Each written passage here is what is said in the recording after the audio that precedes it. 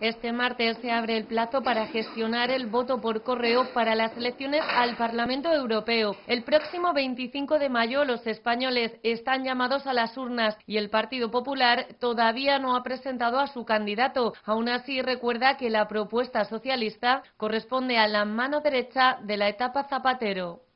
Los ciudadanos deben saber que si votan al PSOE, votan a Zapatero.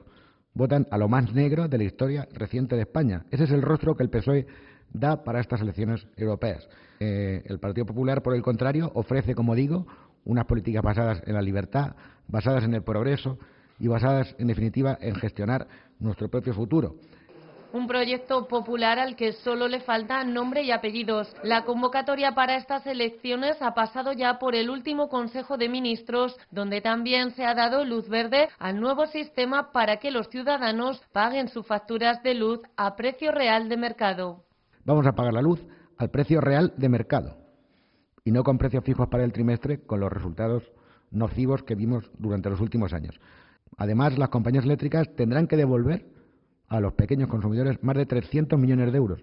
Es decir, en los próximos recibos de la luz les llegará información a los ciudadanos donde verán que se les devuelve por el, por el coste mayor de, durante este primer trimestre del año, porque la luz ha bajado y si ha bajado el coste real de la luz, los ciudadanos lo van a notar en los propios recibos.